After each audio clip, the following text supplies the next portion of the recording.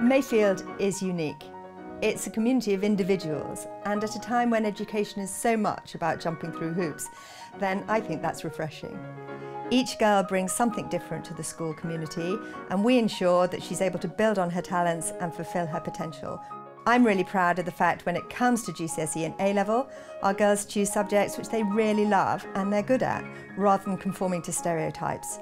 It's also important that each girl is able to build on her strengths. Our Oxbridge students study everything from engineering to English, and whatever you want to study, Mayfield can ensure that you're able to be successful at the highest level.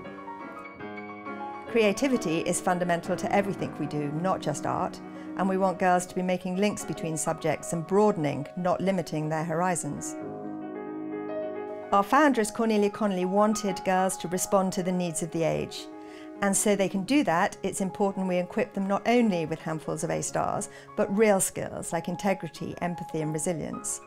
We want to inspire a lifelong love of learning, not just produce exam results, and our girls to become mature, educated, independent young women, confident in what and why they believe and prepared to make a positive difference in the world. Our motto, actions not words, isn't an empty phrase, and it's also shared by our sister schools throughout the world. These international links are really important for us because we're preparing girls to perform on a global stage. And being aware of different cultures and nationalities is really important.